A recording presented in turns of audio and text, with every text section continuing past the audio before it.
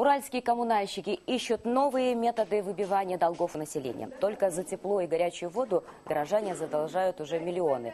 Э, Не помогли даже отключение услуги в отопительный период, говорят энергетики. Сейчас пробуют попросту не выпускать злостных неплательщиков из страны. Аида Хамзина узнала подробности.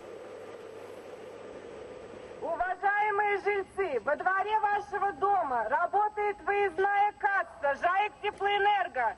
Принимает платежи за отопление и горячее водоснабжение. Таким способом уральские коммунальщики решили бороться со злостными неплательщиками. К абоненту домой не подъезжает вот на такой технике. Выездная касса работает 4 часа в день. Правда, на хозяев квартир натыкаются редко. Чаще двери открывают арендаторы.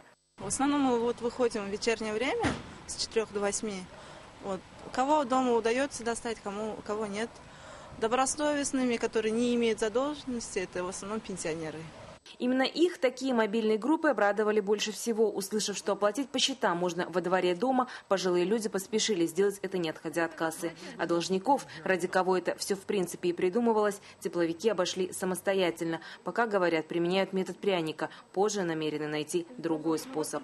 В прошлые, в прошлые года применялись э, к населению, когда были, э, отрезали трубы э, от отопительной системы в квартирах.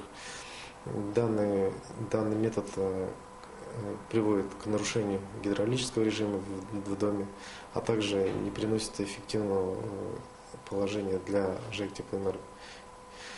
В данном случае мы э, сейчас находим другие методы э, взыскания платежей и совместно с департаментом э, по судебному исполнению с ними как бы отрабатываем вопрос. Вместо радикальных мер тепловики нашли превентивные ограничения выезда за пределы страны. Только после того, как неплательщиков снимают с поездов, либо у них сгорают путевки, люди начинают серьезнее относиться к оплате коммунальных услуг.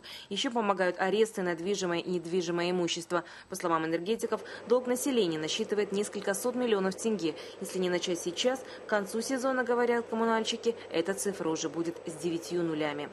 Аида Хамзина, Севен Ньюс, Уральск.